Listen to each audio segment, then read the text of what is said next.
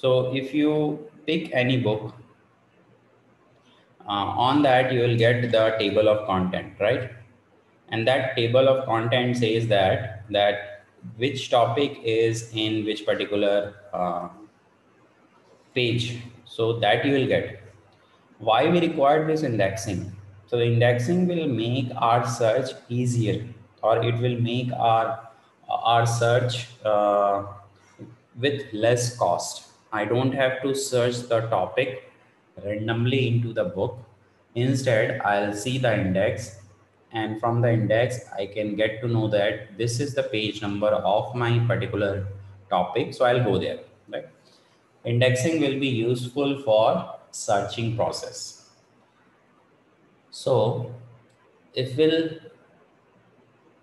relate it to our databases is also work like that. So when we do any type of query, when we do any type of query, it will go to the the query processor, it will go to the transaction manager and all those levels we have seen in the database system architecture in which the last level was the data. In that we have one component which is called index. So index, let's say we are talking about, we are uh, talking about uh, a query of the student table. So we should know that where student table will get. So there is the, the memory location of the student table, right? So where you'll get it? You'll get with the help of index table. So there is an index table. In the index table, you will get the, let's say the student table and the related memory location of that particular student table, right? So the index table is, is for that. So let's go into the theory. It says that an index is a small table having two column, right? So what are the column? What should be the column? So the column will be two only in the index.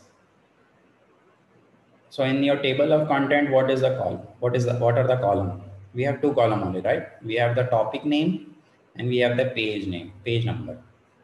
So let's say the topic is A, page number is let's say 20. Topic B, page number is let's say 30. So this is my index. In the similar way, we have the index in the database management system, which is having only two column. The first column contains the copy of the primary or the candidate key of the table, and the second column contains the set of pointer holding the address of the disk block where that particular key value will be found. So here key value will be maybe the, the table name, maybe the, the other, other name that we are making as for key value, right? The advantage of using index lies in the fact that the index makes search operation perform very fast, right? it, is making it very fast. Suppose the table has a several row of data. Each row is of 20 byte wide. If you want to search the record number 100, the management system must uh, thoroughly read each and every row and every read, let's say it is taking 99 into 20 because 20 byte is the size. So it will be 90, 80 byte will find um, a record number 100. If we have an index, the management system start uh, to search for record number 100, not from the table, but from the index. The index contain only two column, maybe just four byte wide in each of its row. After reading the 99 into 4, 396 byte of data of index and the management system uh, finds an entry of the records 100. Reads the address of the disk block where record number 100 is stored and directly points at the record in the physical storage device. The result is a much quicker access to the record a speed advantage of see you can see the speed is 396 byte and here we have 980 byte it says that let's say you have a table called student table and you are looking for the 100 record 100 record okay So you know that the my data is in the 100 record, right? Or my primary key is, is there, let's say roll number 100 we are talking about. So for searching the roll number 100, we have to search means all the detail. Instead, if we have the index of this, this particular student table, so we have the roll number and we have the address of it. So there is a hundred, but the address will be, let's say 2020 is my address. So here we have to search, let's say four byte and here for each tuple, we have to search 20 byte. So it says that to search from, from uh, zero location to 99, sorry, one to 99 or here one to 99, the searching time will be reduced. That is the advantage of index. The only minor disadvantage of using index is to take up a little more space in the main than the main table. So we have the student table. Why we require another table? So another table is your index table, and this index table belongs to the student class. Sorry, student table. So this storage is required to add into the database. This is the minor disadvantage that we have. But to get the data, it will be very fast. Additionally, index need to be updated periodically by inserting and deleting of record in the main data. However, the disadvantages are so huge. Uh, sorry, advantages are so huge. These disadvantages cannot can be negligible.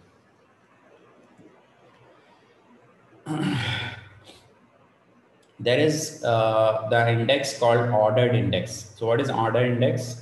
The index entry are stored in the sorted form on the search key, that is the value, uh, author catalog in the library like that. The primary index uh, in a sequential order file, the index whose search key specify the sequential order of the file is also called clustered index. The search key of the primary index is used, uh, but not necessarily the primary key. There is the secondary index an index, those search key specify an order different from the sequential order of the file, also called the non-cluster index. Then there is a index sequence file, ordered sequence file with the primary index. So the category is like this. So the index may be categorized into primary index, clustered index, and secondary index. So primary index, we have two type of index called dense index and the sparse index means primary key. So primary key is, has been used here, which is a dense index and a sparse index. Then index may be the clustered index or index may be the secondary index. So let's see different type of indexes so that you will understand. This is the example of primary index. Primary index is of two type, right? Dense and the sparse. This is showing you the example of the dense. Means let's say we have the student table and this is the index of the student table. This index is called primary index. Why primary index? Because this index is made with the primary key. That's why it is called primary index. And it is a dense. Dense means is a mapping is one to one mapping. As you can see roll number one the pointer is pointing to the location of the roll number one roll number two is a pointing point, pointer pointing to the location of the roll number two now what is a sparse index the sparse index is like this. We have the strand table, but strand table is divided into some chunk of 10, 10 records. And if we have the index like this, this is called a sparse index. And it is a category of primary index, but it is a sparse index. Why? Because we doesn't have the one-to-one -one mapping. Here we have the one-to-many mapping. Means this, this particular pointer, this particular pointer is pointing to 10 records this particular pointer is pointing to 10 records. It means that here the searching will be will be less, but here we have to search. Let's say I want to search the 23rd record. So instead of going to 23rd, I'll go to 21. 21 will take me to the 21 record and from the 21, I'll go to the 23rd record. In that way, it will work. It is called sparse or non-dense primary index. Now, what is a clustering index? Here you can see there is a cluster that we have made. Like in in some uh, uh, in some table, We are not taking the primary key. Instead, we are taking the, see department wise, we are clustering it. Or you can say the, the branch wise, we are clustering it.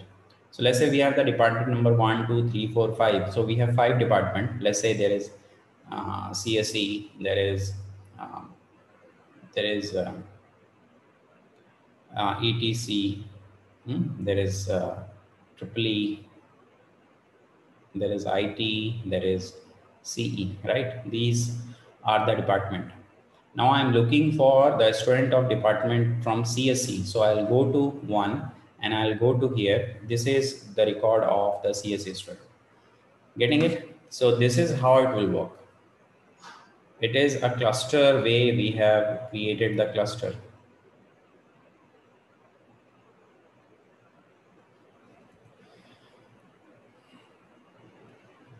Then the secondary index, we have one primary index. This is an example of the primary index. And then we have the secondary index. Here you can see this, this is a sparse and this is the dense. So it is an example of sparse and the dense this indexing is we have taken in the RAM and this indexing you can find in the hard drive and the data is also you can find in the hard drive. So let's say if we are looking for roll number 19. So we'll go to the roll number one and from the one we'll go to the roll number C. This is 11 and from the 11 I can go to the roll number 19. This is how I can search the table secondary indexing. Okay. So these are different type of indexing available.